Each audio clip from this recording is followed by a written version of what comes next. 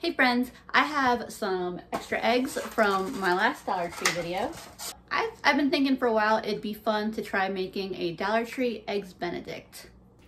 So these are the ingredients that I'm going to use for my Dollar Tree Eggs Benedict. Of course we have eggs.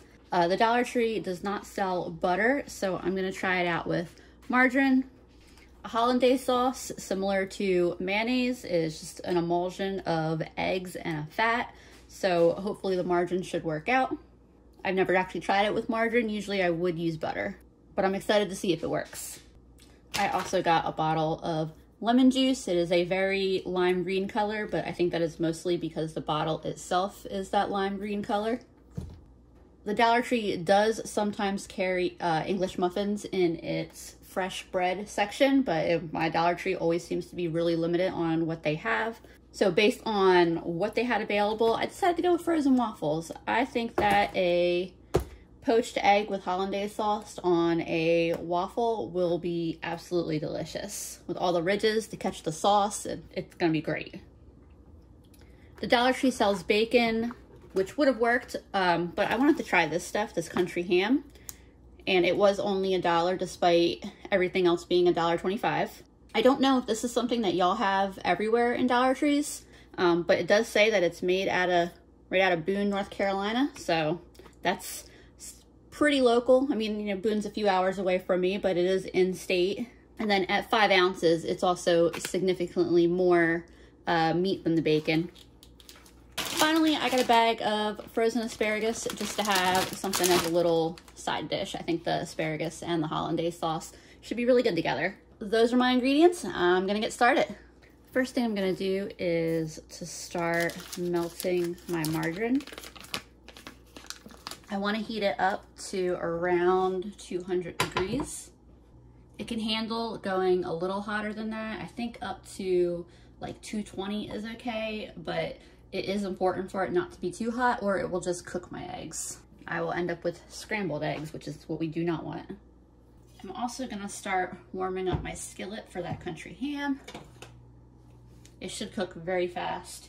And I'm gonna start preheating my oven for the asparagus. Hopefully I time everything and it comes out more or less done at the right time.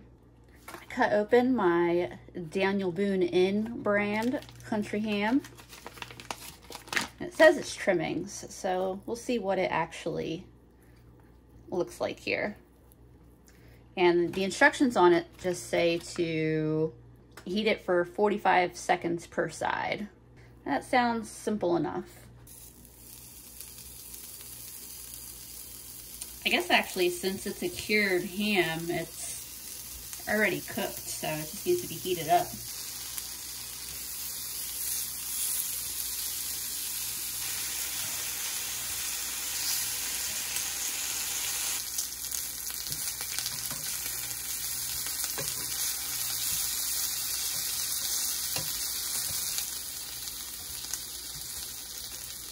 Heat off on that. It looks like it left a lot of crud on here, but I mean, it's it wipes right off.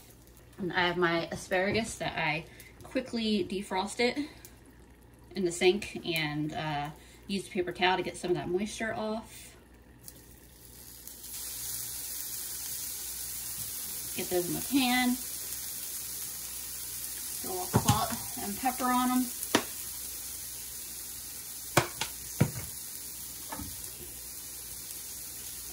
Them straight in the oven. I'm gonna separate my uh, yolks from my eggs. I'm gonna use three eggs. Uh, this is the container I'm gonna make the hollandaise in. Now's probably a great time to mention that the last time I made hollandaise, I did it the kind where you whisk it over a double, bo double boiler. I've never actually made it with an immersion blender, which is what I'm gonna be doing today. That was hot water that I had in there. I just wanted to warm this up a little bit. I have a a bowl here for my whites. I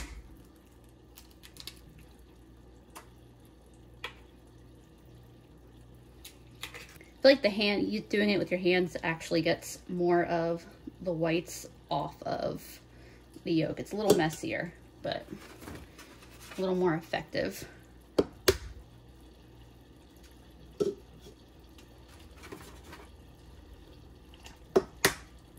My margarine's probably ready to go as soon as I get this last white and yolk separated. I'm gonna get that off the heat and check the temperature.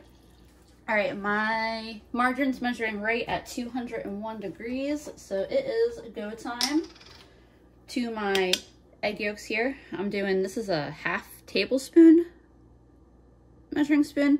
I'm gonna add half a tablespoon of the lemon juice. If you have fresh lemons, obviously that'd be a great choice. Half tablespoon of water.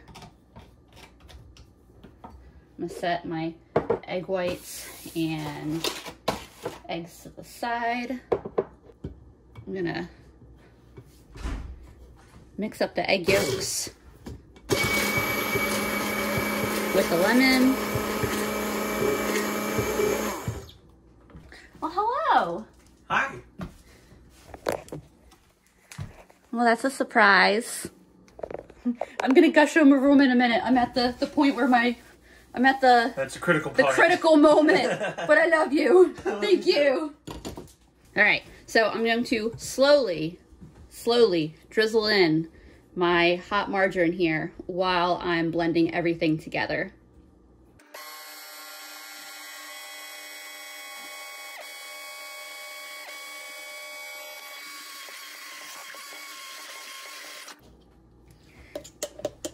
That looks like it came out pretty good.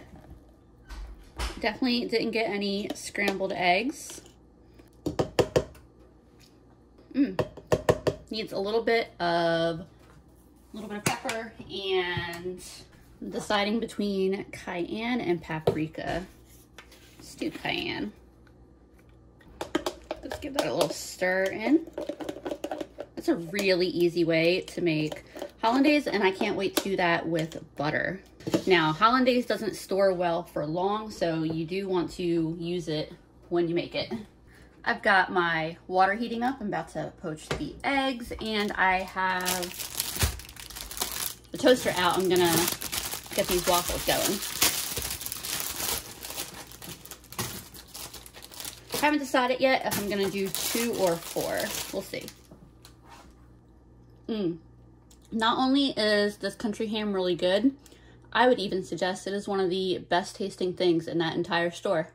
So since the waffles are kind of big for a single poached egg, I took a glass here and cut out a slightly smaller circle. Definitely not necessary, but we'll see how it, how it looks when it's, you know, fully plated.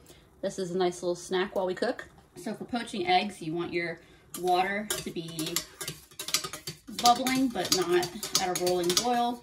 You want it to be hot enough to cook the egg, but you don't want the, the boil to break the egg apart.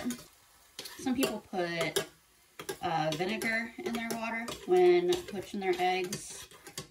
I usually don't. I tried it. I didn't notice a difference. I just give the water a swirl and crack the egg into the swirling water.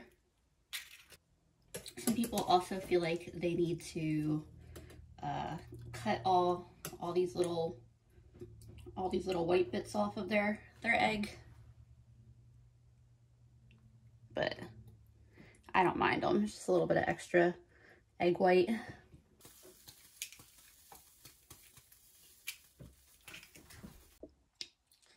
These little uh, waffle bits, definitely a good idea to dip them in the hollandaise. There we go. Perfect. I have one last thing I'm actually to do here real quick. I got my pan greased. I tried to make this into a non-broken circle. It broke on me a little bit, but let's try this anyway. I have my egg whites. I have a bunch of this country ham.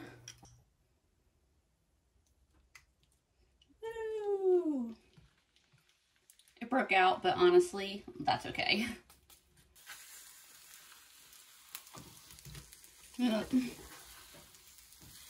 All right. It won't be a nice presentation, but it will be a nice tasting dish. This is just me wanting to not let those egg whites go to waste.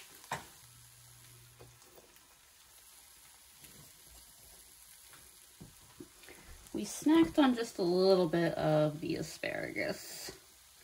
Not much, because there wasn't much in that bag, just a couple stalks, but...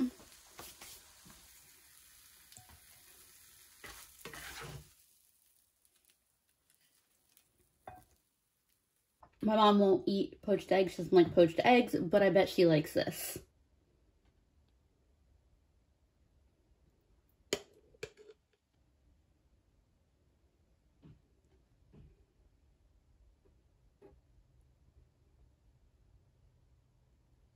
And there's still a bit, well, I guess you can't really tell how much is in there, but there's a little bit of sauce left if anyone wants a little more. I'm gonna top everything with some of these green onions that I have regrowing in a glass jar on my windowsill. Um, I've been regrowing these for like six weeks or something. I've cut them down several times. They're kind of getting at the end of their useful life. You could plant them in dirt, but it's the middle of winter here and I don't really have a lot of room in the house for planters especially ones that my cat can't get to. If you think that it's cheating because they're not from the Dollar Tree, that's fine. Just pretend I didn't use them because it's just, uh, it, it's not necessary for them at all. I'm just using them because I have them here and need to finish them up. And you're so nice. Coming home with flowers for me. And he knew better than to overpay on Valentine's Day, so he really does get me. Let's try these out. That is a beautifully cooked poached egg. Definitely prefer a butter hollandaise, but margarine will do in a pinch. Yeah, that still tastes really good. Still definitely has the flavor of hollandaise. I love how eggs benedict look really pretty at first, and then they immediately like get messy. All right, y'all, clean plate club. Obviously, we have happy bellies now. I've now answered the question for myself on whether I can make Dollar Tree Eggs Benedict. I hope y'all enjoyed finding out with me, and I will see y'all next time. I had to show y'all real quick how pretty these are. All right, bye for real this time.